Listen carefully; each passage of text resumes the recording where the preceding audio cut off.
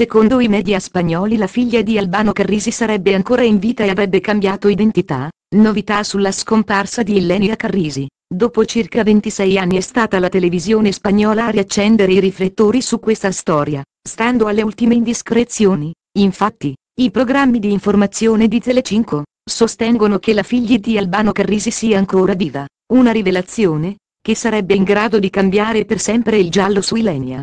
Dopo che Salvame ha iniziato a parlare di Illenia, i genitori Albano e Romina Power sono andati su tutte le furie. Il cantante di Cellino San Marco, a tal proposito, ha anche rilasciato un'intervista in cui ha espresso tutta la sua rabbia. Ha anche minacciato di agire per vie legali contro il programma spagnolo. Per Albano si tratterebbe solamente di una forma di speculazione e di spettacolarizzazione del dolore personale. La mamma, Romina, ha invece un'idea completamente diversa. Secondo lei la figlia è accento acuto ancora viva. La vicenda, però, non dovrebbe più essere oggetto di gossip, stando a quanto è accento acuto stato raccontato in Spagna. Ilenia Carrisi sarebbe ancora viva, avrebbe un marito e tre figli. Ilenia Carrisi è ancora viva? Da ormai 26 anni non si hanno più notizie di Ilenia. Nel corso di questo lungo periodo le ipotesi e le ricostruzioni si sono susseguite nella maniera più disparata. In molti, per esempio, sono convinti che Lanier non ci sia più, altri, invece,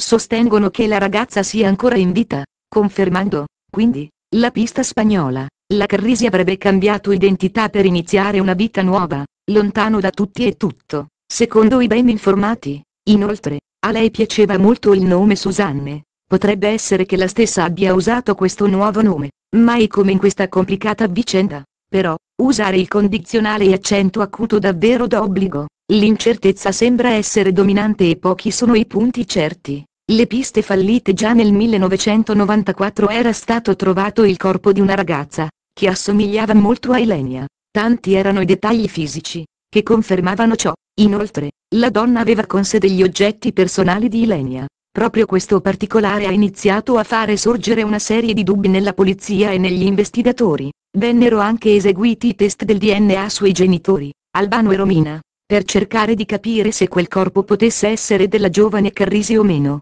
Alla fine, si scoprì che non era Ilenia la ragazza trovata morta. Con molta probabilità, però, la conosceva. Secondo fonti dell'epoca, si sarebbe potuto trattare di Susanne, una donna, che Ilenia aveva conosciuto nel corso del suo viaggio in America.